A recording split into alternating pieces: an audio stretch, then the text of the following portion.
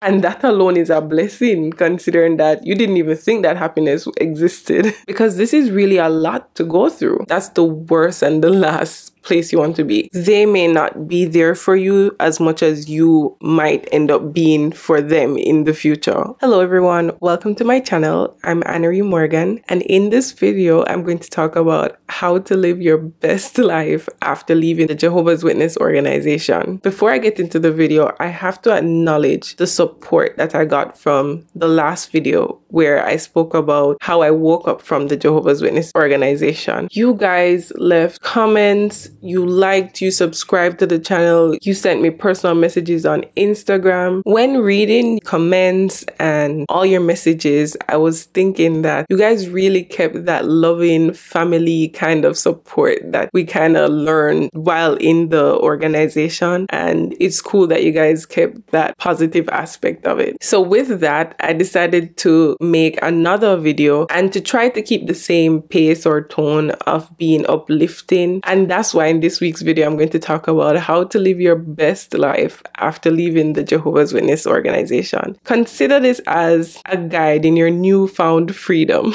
So the first thing that I want to mention is, of course, I need to congratulate you. Yes, it sounds corny and to people from the outside, it probably seems like it's not a big deal. This is not just church hopping. This is you waking up from the mental blockade that was stopping you from living your best life. So you do deserve a congratulation. I want to talk about the emotions that you're probably going to go through or experience, the first emotion that I had to deal with was my anxiety. Finding out that something you've always believed in and all of a sudden it was all a lie or it's not true anymore, that alone can cause you to go through a whole whirlpool of emotions. And you might even be wondering, okay, so if this isn't the truth, then what is? And then you're thinking, oh my goodness, so who is God? All of these questions might be going to your head. And a lot of persons actually end up even even rushing into new faith because they feel like they must attach themselves to a particular religion or a group of people to feel like they belong to something. And then for some people, they have anxiety now thinking about how they're going to interact with their family from now on, considering that the whole shunning, it's unfortunate that making such a decision about your personal religious life have to have an impact where you might lose your family and friends that you love so much. But on behalf of them, if you remind yourself of how they're processing it, maybe it can take some of the burden and disappointment and anxiety away. Remembering that they're doing this because they truly believe that it's the best thing that they should do. It's unfortunate, but that's just really how it is. And knowing that you now know better, maybe it's going to be hard, but you'll probably have to make a conscious decision to know that they may not be there for you as much as you might end up being for them in the future,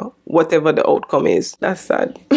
And then the next emotion that you might experience is probably anger. Thinking about the years that you've lost, I remember that reading the comments from my last video, a lot of persons were talking about, oh, it's a good thing that you got old as you're young. I was in it for 30, 40, 50 years. So if you probably fall into that category where you can look back and say, oh, it was this much years that I lost or that I dedicated to this organization, that might make you a little bit angry. Or if you were actually born into the organization, you might even feel anger at probably your parents or your family thinking why they never did the necessary research before they brought you up into this organization. And then you might also experience loneliness, especially if it is that you're the only person outside of your close family members and friends that walked away. You might have to find a whole new relationship setup system of friends and all of that. And it's because of all of these experiences that you might go through that cause a lot of persons to be still personally in and mentally out because this is really a lot to go through. But as time goes by, you might begin to feel peace, peace within yourself, peace with the decision that you made. And then comes a state of happiness. Yes, like real happiness. Real happiness does exist in this world, contrary to what we believe.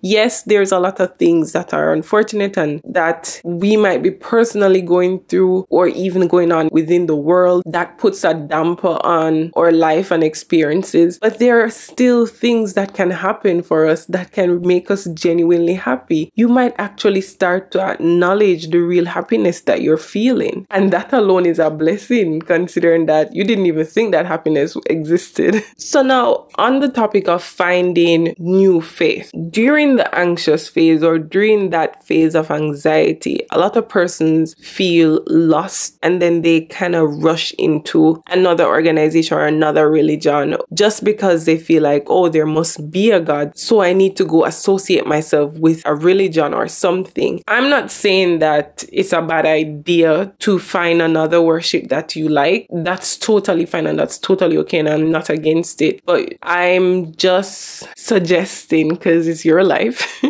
I'm just suggesting that you take your time because the last thing you want at this phase is to make your anxiety make you fall back into another situation or another organization or another religion that is really the same thing just with different words or different faith or different teachings. That's the worst and the last place you want to be. In my case, I don't go hunting. I take my time. I'm reading. I'm not associating or attaching myself to any organization or any church or anything at this moment. And maybe it seems like a confusing state to be in where there's a big question mark on your faith. But coming from someone who's in that question mark phase, it's not as scary as you think. In this particular moment, I'm just being patient with myself. Take baby steps that you can actually be confident and sure about whatever decision you make in the end. And then the final point, which is the point that I'm most excited to talk about, is to go and have guilt free fun. Do you know what that means? When you were attached to this organization, more than likely, you probably didn't even explore all the things you like to do or all the things you wanted to experience because you were restricted by an organization that was time consuming and that really worked on your guilt. But now there's absolutely nothing holding you back. So, whatever part of the world that you're from, dive into your culture and experience what you've been missing. In my case, I can talk from a Caribbean or a Jamaican standpoint. Go experience carnival, wear the costumes with the bikini and the feathers and all of that. You know, express yourself the way you've always wanted to express yourself with your clothing or get piercings or tattoos. I mean, if you wanted to try out the bars in your neighborhood or whatever it is, just have responsible fun.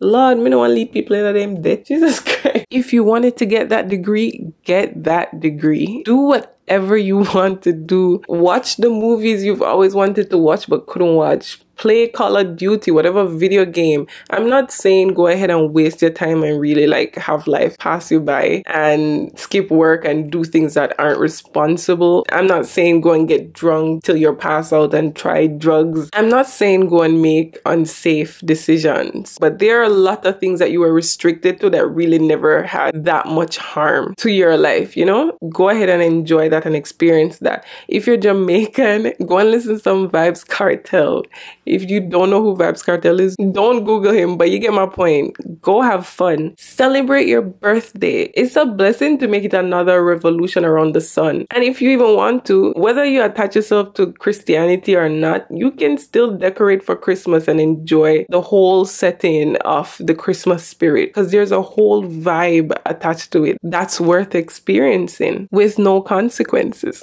all in all, depending on how you take it or look at the situation, this is really an exciting time for you. And it's just your perspective that can affect how you live the rest of your life. And with all of that said, you should tell your story. There are a lot of Jehovah's Witnesses that are in the organization that are personally in and mentally out. One thing I didn't even know is that there aren't many other, or there probably isn't any other Jamaican Jehovah's Witness that's publicly speaking about leaving the organization. So there's probably even a niche for you depending on where you're from or your culture. Telling your story, whether it's on YouTube or Instagram or a Reddit post, you have no idea who could relate to your story and who you could motivate to being free And it's unbelievable the support that you get just from just saying that you're no longer in the organization. That alone could be enough motivation to keep you driven and keep you going. That's all I have to say in this video. Thank you so much for watching. If you like these types of video, please go ahead and subscribe to my channel. And I'm going to also do other videos on other life lessons that I've learned. So stick around for those videos as well. And thanks for watching.